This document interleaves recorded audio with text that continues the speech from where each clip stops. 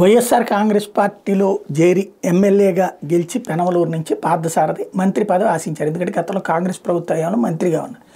ఆయన మంత్రి పదవి ఆశించారు. సాధారణ కమ్మ సామాజిక వర్గానికి బలమైన సీటుగా పేరున్నటువంటి పెనమలూరు నుండి బీసీ సామాజిక వర్గానికి సంబంధించిన ఆయన గెలిచారంటే ఒకటి జగన్ హవా రెండోది ఆ ప్రాంతంలో బీసీలందరూ సాలిడ్గా ఓటేయడం వల్ల సాధ్యమే అయితే ఆయనకి ఈ దఫా టికెట్ లేదని మరొక బీసీ అయిన జోగి రమేష్కి ఇస్తుండటం ఆ విషయాన్ని చెప్పాక పార్థసారథి ముందు మౌనం వహించారు.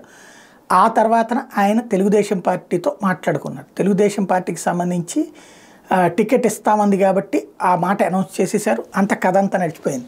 చంద్రబాబును కూడా కలిశారు. సీన్ కట్ చేస్తే ఆయన ఇప్పుడు నూజివీడు పోటీ చేయమంటున్నారు. అలాంటి ఏదన్నా నియోజకవర్గ మార్పు కావాలంటే జగన్మోహన్ రెడ్డి కూడా ఇస్తాడు. కావాలంటే మచిలీపట్నం సీట్ కూడా ఇస్తాడు. ఎందుకంటే మచిలీపట్నం నుంచి పార్లమెంట్ స్థానానికి ఎంపీ ఎవరైనా కావాలనుకుంటున్నారు. బలమైనటువంటి బీసీని. అట్లా ఇచ్చుండేవాడు కదా.